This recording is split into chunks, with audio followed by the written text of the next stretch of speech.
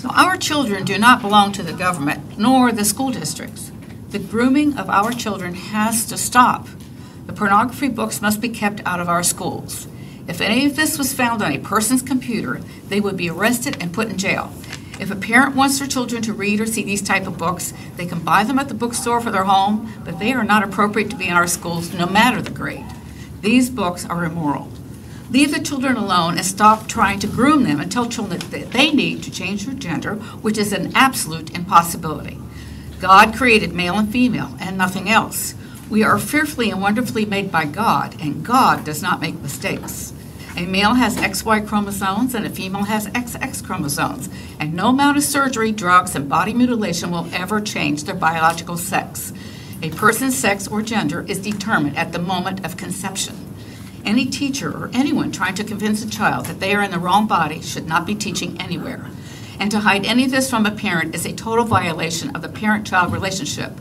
That is what sex abusers tell a child. Don't tell your parents. This is a secret between us. Let children be children and stop stealing their innocence.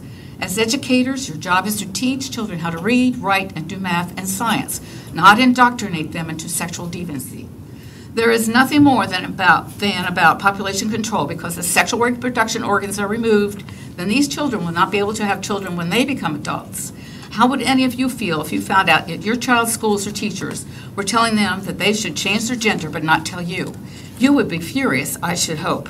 Listen to and read about the young people and others who went through a sex change and now are detransitioning because they have learned that this was not their problem at all.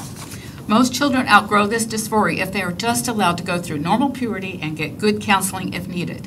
Big Pharma is making people who take these sex hormones lifelong patients dependent on drugs because their bodies are so messed up.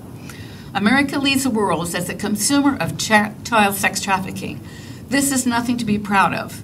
Thousands upon thousands of children are missing and have been sold into to sex trafficking.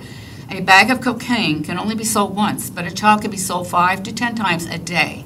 It is time to stop the grooming of children in schools and everywhere. So please keep these books out of the schools, let children be children, and let them develop normally. To quote from the movie Sound of Freedom, God's children are not for sale.